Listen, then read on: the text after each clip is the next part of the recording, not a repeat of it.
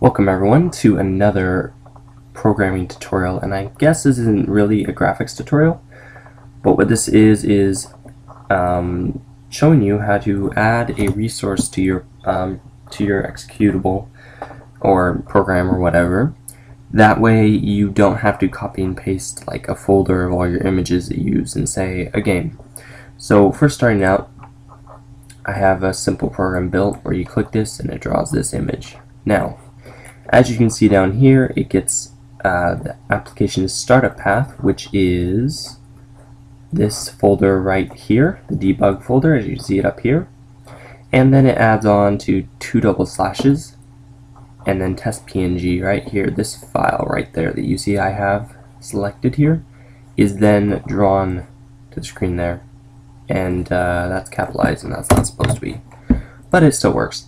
So, as you see, that's from a file. Now, however, if I was to go into the folder, like uh, this, and I was to go like this, and I go new folder, and we'll just call it something else, and move this file in there, and then go here, and click that.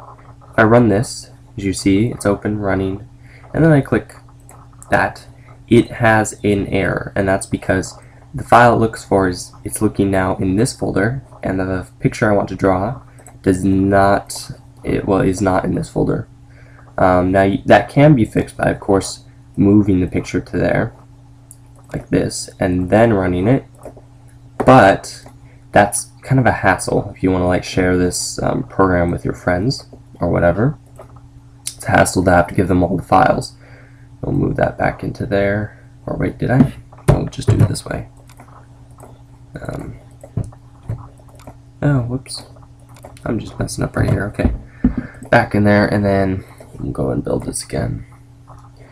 Alright, so instead of doing this where you actually reference an actual file on your computer, you can actually import into your resources.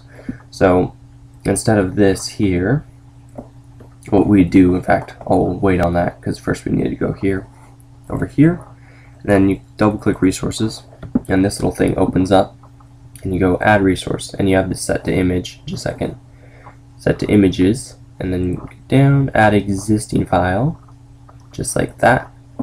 And then we got to find it. So it's like let's see. Is it can I get it from here? Probably not. I don't know. I don't see it. So I'm gonna have to go back here again and you can look at all my folders and snoop all you want.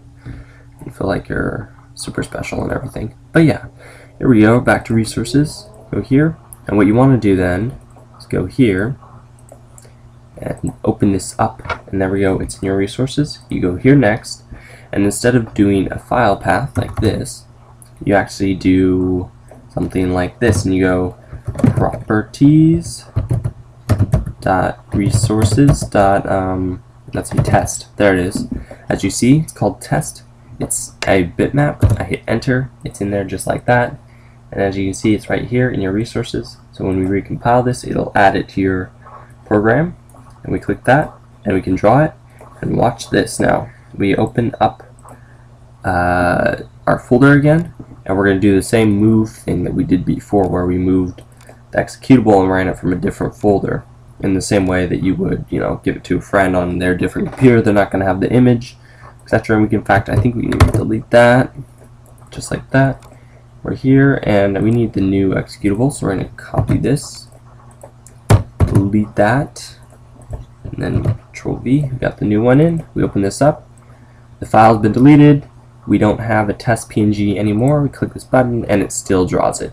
So that's how you add pictures to your um, resources, and that way you don't have to um, have a folder with all the pictures that your program will use in it. Anyways, that's all for now. I hope you enjoyed this. Please rate, comment, subscribe, whatever. Tell me what you want to see next, and that's all for now.